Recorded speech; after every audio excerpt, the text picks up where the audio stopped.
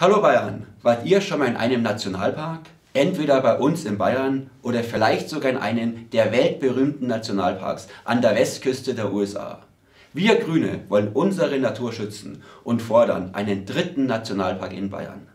Egal wo, Nationalparks sind Naturschutzräume. Seltene Pflanzen- und Tierarten haben hier ihren Lebensraum. Der Mensch kann nur begrenzt schauen und staunen. Eine gute Sache. Leider hat Bayern nur zwei Nationalparks.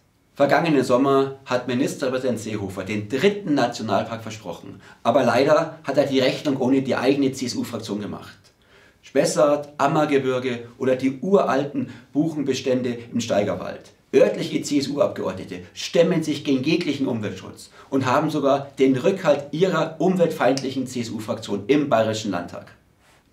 In Wissenschaft und Fachöffentlichkeit hingegen ist die Zustimmung riesengroß. Von mir aus kann es nach dem dritten gleich den vierten Nationalpark geben. Und der Steigerwald, den Seehofer als Art Liebesdienst für seinen regionalen Abgeordneteneck vom Verfahren ausgeschlossen hat, gehört mit in die Auswahl.